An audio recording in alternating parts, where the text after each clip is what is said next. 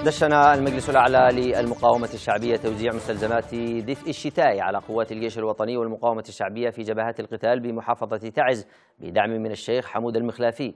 ويستهدف المشروع توزيع مستلزمات شتوية على أفراد الجيش الوطني والمقاومة المرابطين في جبهات القتال بالمحافظة.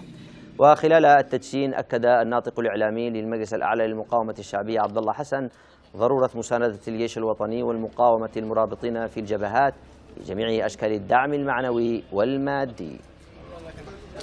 إن إخوانكم في قيادة مجلس المقاومة الشعبية بمحافظة تعز وهم يقفون إلى جانبكم في مواطن العز والشرف فإنهم لم ولن يتوانوا عن السير معكم على نفس الخطى والأهداف الوطنية العظيمة التي رسمناها سويا بدمائنا وتضحياتنا في كل شبر من أرض تعز الطاهرة.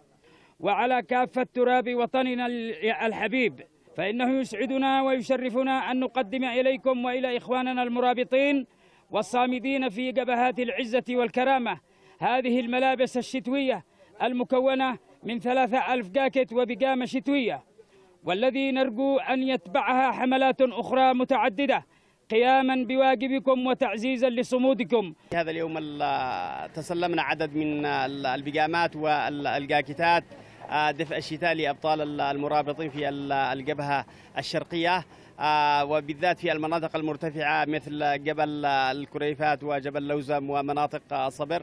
نشكر الشيخ حمود المخلافي رئيس المجلس الأعلى للمقاومة على هذا الدعم السخي للأبطال الذين هم في أمس الحاجة لمثل هذه الأشياء في مثل هذه الأيام الباردة.